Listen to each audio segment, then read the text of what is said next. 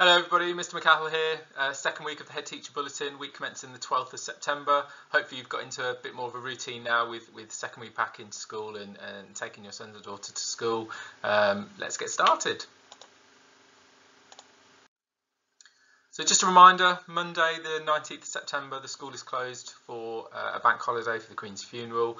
Um, we've also got a condolence book and reception so feel free to pop into school um, if you wish to uh, write a note of condolence. Uh, that's something that we'll keep on uh, on school site uh, for the for, for, the future really as a, as a um, historic moment um, so please please feel free to pop up uh, we'll keep the condol condolence book for the next couple of weeks so you can support that. So just a reminder again about our website, please access, uh, please use, um, it's updated regularly with uh, curriculum information, uh, news articles. Um, you've also got this section here where you can uh, have a translate feature, so for those parents and carers uh, whereby English is not your first language, um, just feel free to um, click at the top and change the language feature uh, and that will convert the whole text on the website to the language selected. you've also got a reminder on the top right hand corner about whether it's week A and week week B and often that's quite helpful just in relation to people's timetables and making sure they're organised for the week ahead. So if you haven't accessed the website just yet please log on, download the app um, it will send you push, push notifications. Uh, we just want to really uh, enhance communication and make sure that you're well informed of what's going on at the school. So please do take a look um, there. So I'm really excited. The library is back open. Um, obviously, since, since I started in January, um, it's one of my big drivers and improvements to make sure the, the library is back open. Um, I was really sad to hear that you know the library has been closed at the school for the past couple of years for, for various reasons. But it's open. Uh, the space is there to be used before school, at break time, after school, lunch times, uh, for either homework, reading, catch up. Uh, we've got computer access, so um, you know, please, please feel free to share the news to your sons and daughters uh, to make use of that provision. There'll be more in the way of uh, sort of uh, reading activities and literacy events moving forwards, but for the meantime, it's, it's an absolutely um, lovely space just to sit and read and um, enjoy a book. So electives, uh, we're really proud of our electives programme uh, on Wednesday period 5. That's something we have prioritised in our personal development curriculum, making sure that everyone's got the opportunity to get involved in um, things outside of the classroom really. So um, if you follow us on social media, you'll see that I posted some photos about um, the exciting activities that are happening at the moment. Uh, one of them there, you can see a picture of our students at Brampton Heath Golf Club. Um, but all students have selected their electives for, for the year. Um, they'll run every half term and they'll swap every half term. Um, so if you haven't taken a look at our website for the brochure of the electives programme and, and, what's happening and when, um, please do and keep an eye on our social media feed uh, to see the exciting things weekly uh, of what our pupils are getting up to. So again, social media, a bit of a plug really, uh, and a bit of a plea to, to get following us. Um, we've got a school web, uh, Facebook page whereby we're updating uh, and uh, pushing sort of news articles and notices uh, we've also got our Twitter feed as well, which is quite useful. Um, again, we're, we're, tweeting regularly throughout the day. Um, I, I, find social media really powerful, really, because actually we're snapping photos and news of what's happening live in the school. So if you're following us, you get a sort of a real-time update of all, all, the great things that's happening. So if you're not following us on Facebook or Twitter, please do. We've also got an Instagram feed uh, for, for sixth form, um, and we're working on a, a TikTok feed as well, just to make sure that we over-communicate and that you can see the fantastic stuff that's happening day in, day out.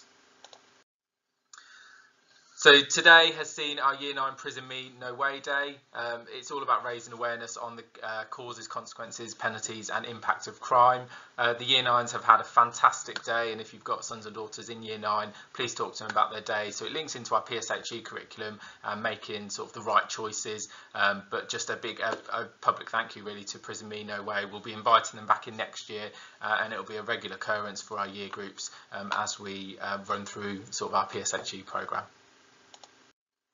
11 intervention is happening, so we've got a, a plethora of intervention happening uh, both before school, lunch times and after school, uh, but before the timetable is published, um, it's just uh, to keep you informed as parents and carers that we have online intervention that students can access at home. So that's called GCSE Pod and Seneca Learning. So GCSE Pod is basically described as a Netflix of education. It really brings together uh, elements of content, assessment, um, and it's basically lots of small video clips that the students can access to um, revise from. So um, we'll be pushing that this year, uh, in particular with, with, with Year 11, uh, but also Seneca Learning. Seneca has um, lots of knowledge retrieval quizzes, uh, revision activities, and science in particular using Seneca Learning uh, to set weekly knowledge quizzes um, that they can work through. So again, it's just to better inform you as parents and carers of what we're doing to support Year 11 um, in the lead up to um, their mock exams, which um, I believe is only about 30 uh, school days away. But more information to follow about that. We've got our Steps to Success evening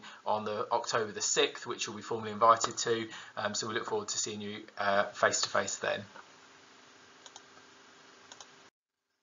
Brett Breakfast Club, so this has proven really popular and for our new parents and just to sort of give you an update of what that consists of. So in the restaurant every day uh, we've got staff on duty in the Breakfast Club um, from 8am till 8.25 and in essence uh, students can access free bagels. So we're part of the breakfast programme provision um, it's a government funded initiative. We pay 25% towards um, the, the, purchase of the bagels, um, but we very much um, would like to ensure that students have uh, set up for the day. Um, we're aware that it's a rush in the morning. Sometimes students come to school without breakfast and they're, and they're hungry, so um, they can have as many bagels as they wish, uh, but that provision is, is there and available. So, you know, if, if your sons and daughters want to access that, they just need to turn up and uh, access the restaurant um, on whichever day they uh, wish to.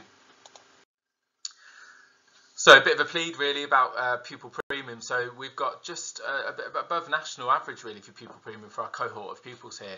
And um, pupil premium is, is, an allocated amount of money that obviously we um, access as a school and we can use that money for various things to support classroom learning, interventions, trips, visits, uh, uniform, the, the list's endless. So um, if you are unsure whether you're eligible for pupil premium, um, there's uh, just some bullet points there about um, obviously if you meet those criteria but the application is really quick. It takes two or three minutes so I urge you um, to um, go through the application process um, because it supports obviously yourselves um, with, with, with school and learning but also us as a school. It, it allows us to access um, extra funding. So um, just to plug again if you haven't applied please go through that application process. That will be greatly appreciated.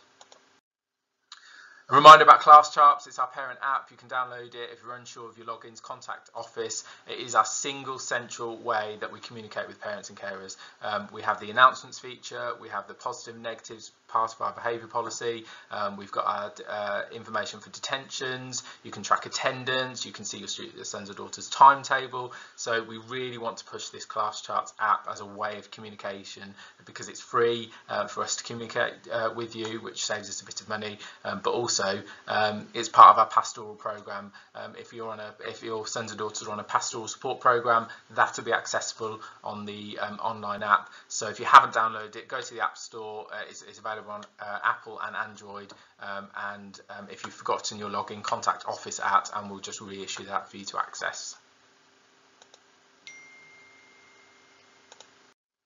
Lastly, just a reminder about our open evening, uh, Thursday 22nd, so next week um, it runs from 5 till 8 and there's two talks at 5.30 and 6.30. All are welcome, um, it's set to be a really fantastic evening, um, lots of activities, lots of information and lots of uh, things to get involved in. So uh, we warmly welcome you and we look forward to seeing you then. Have a great bank holiday weekend and I'll see you next week.